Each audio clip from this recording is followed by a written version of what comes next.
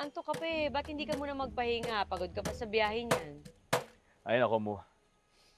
Kahit bumalik ako sa kwarto, higa-higa ako, wala, hindi rin na rin ako makakatulog. Kasi magmula naman ng biyahe natin galing doon sa Sananga West hanggang ngayon dito. Hindi ako tinitigilan ng kabubungis-ngis na yun eh. At least dito, kahit papano. Busy ako. Boss Ganda, Mm.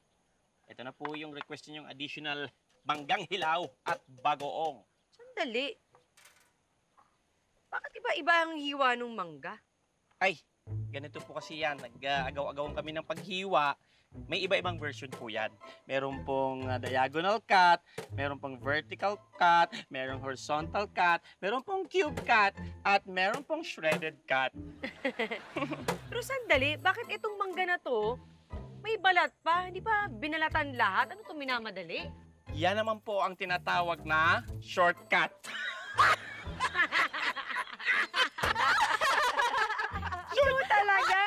Sige, tawa pa. Akala mo nakakatuwa yung ginagawa mo.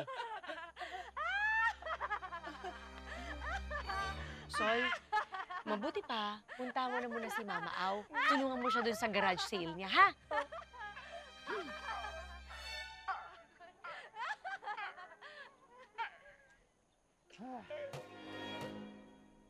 Mo, Hmm. pang ilang mumu mo na yan, hindi ba? Bakit hindi mo kausapin para mas maging malapit sa'yo? Alam mo yun? Ah, ganito na lang. Para mawala yung kalbaryo mo, bakit hindi mo sabihin sa kanya na magpakita na lang sa'yo para matapos na? Hello, sino ka ba? Ano ba kailangan mo? Good morning po! Andito na si Inday! Mo? Nagpakita na? Oh.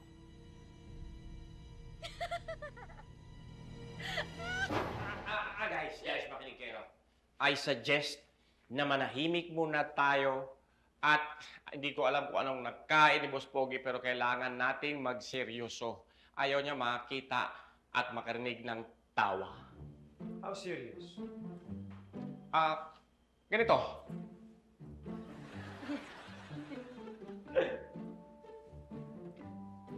Oh, umagang umaga eh, busangot na yung mga mukha ninyo. Alam ko marami akong gamit, pero ayusin na lang natin ng masaya, ha? Tawa naman dyan. Eto na lang. Oh, Isasama po ba ito sa mga ibibenta? Sobrang luma na ito eh. ay, yung headband collection ko. Mabuti pa ilagay mo ito doon sa front desk, ha? Baka mapasama pa sa mga paninda. Sige, itabi mo lang dyan. Mamaya ipaalala mo sa akin, ha? May mga kukunin pa ako sa taas, ha? Sandali lang.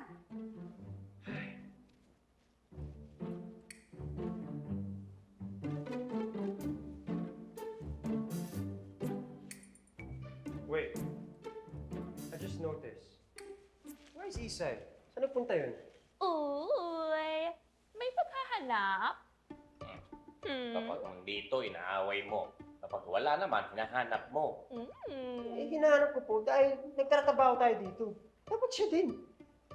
Ito naman, baka naman, you know, bumusita ng pamilya. Baka tumatakas sa trabaho. Baka naman, bet mo na. Guys, stop it! Akala ko ba serious? Anytime,